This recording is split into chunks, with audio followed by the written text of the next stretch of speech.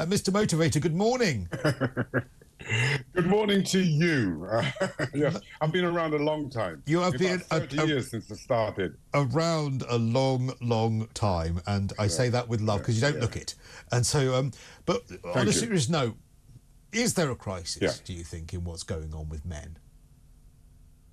Well, I think there's a crisis in general with the health of our nation. And I think it's because all too often government tend to put in a policy and the next government comes in and they change that policy. I think in general, what we need to do is to try and get the health of our nation to be totally ex party. And that means you put in policy that applies to someone, whether in fact you're a male or female. Because I think the problem is true that we men don't talk enough about their health problems. They don't sit down and have television programs that address the men's health need, uh, needs and encourage them to talk about their mental state because I know the pressure for every male to be a father, to be a breadwinner, to be fit, to be healthy is on and it's even more relevant right now in terms of the economy, in terms of things, the way things are going. Yeah, because I mean, I think that's a great sentiment about it being for everyone.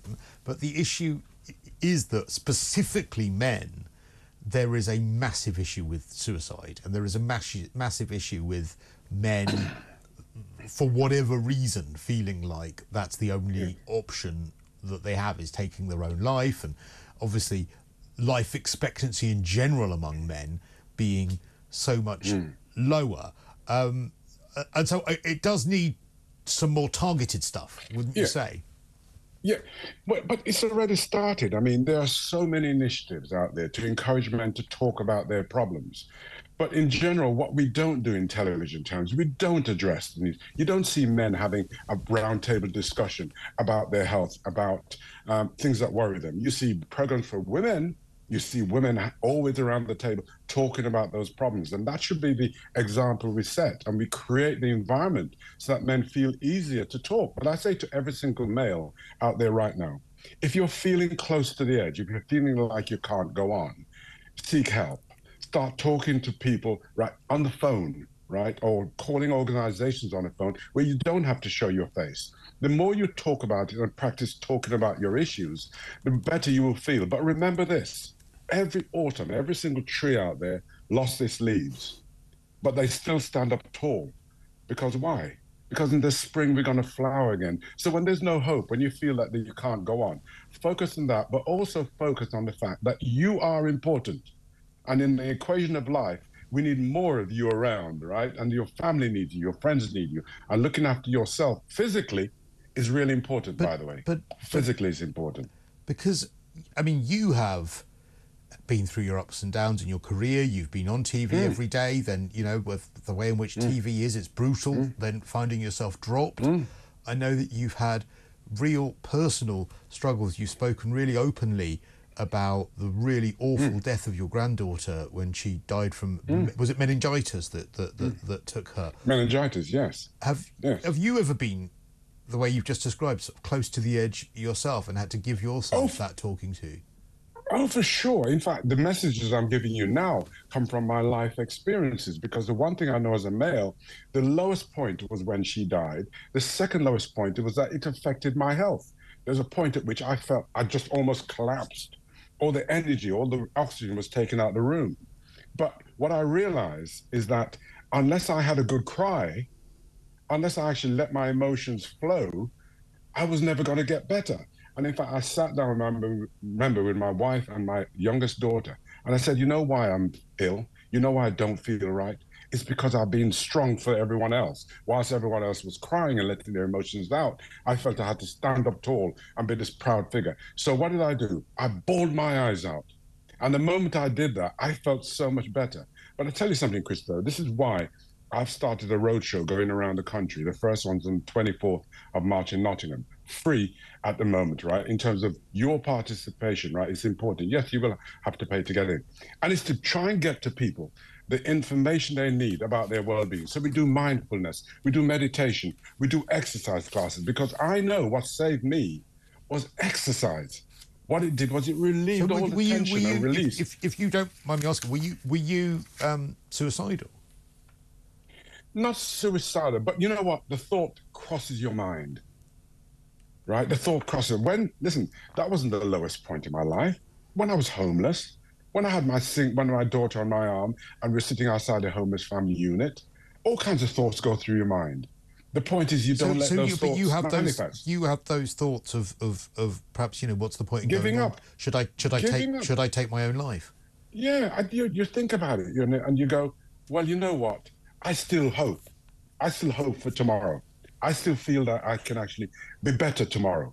And if I keep on persevering and work hard, amazing things are going to happen in my life right? And that's what I had to do was did, talk did, to myself and realize my daughter needed me. Did you ever feel it when you'd had some of the ups and downs in television? Because I know that again you were, it, it, it's incredibly difficult when you've been sort of on telly every day. I remember how how I mean you're still well known now, but I remember how hugely famous you were uh, a couple of decades ago, and then suddenly that was almost taken away from you overnight, and that must have also led to some really dark thoughts.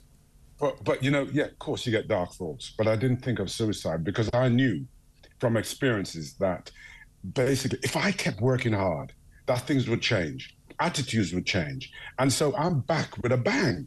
In fact, I'm back bigger and more popular than I ever was. And why? Because I've started talking about the issues I've had to deal with.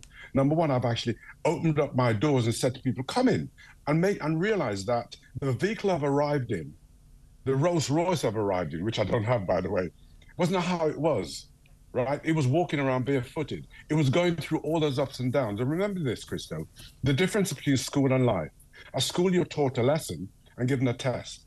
But in life, you're given a test which teaches you a lesson. And all of us can learn from those life experiences. The important thing is don't quit, don't give up, right? And if you feel close to the edge, seek help, talk it out sometimes your best friend is not the person to talk to. Someone you don't know is the best person to talk to, and that's the kind of platform I want to see in and, place. And do you, you guys on? Do you think it's more difficult for men because?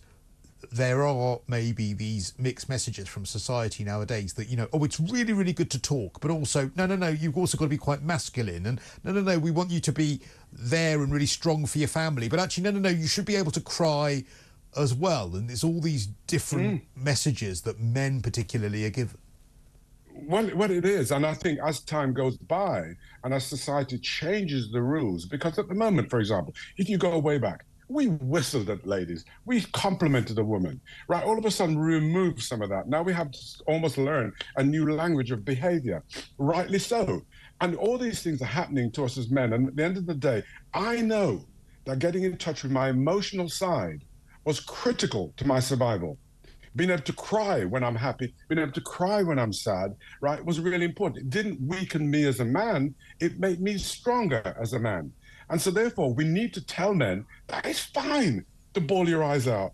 It's okay. Is it? Is it? Guess what? You will empower other people when you do that. Is it difficult though, as well, being a, a, a man in the entertainment business and being around as long as you have. Uh, I guess you know it's really interesting what you just said about like maybe what was acceptable twenty or thirty years ago, wolf whistling yeah. or paying someone a compliment, navigating through all of that. Is is that something mm. you're really conscious of now? That actually, you know, I really need to oh. think about my behaviour now.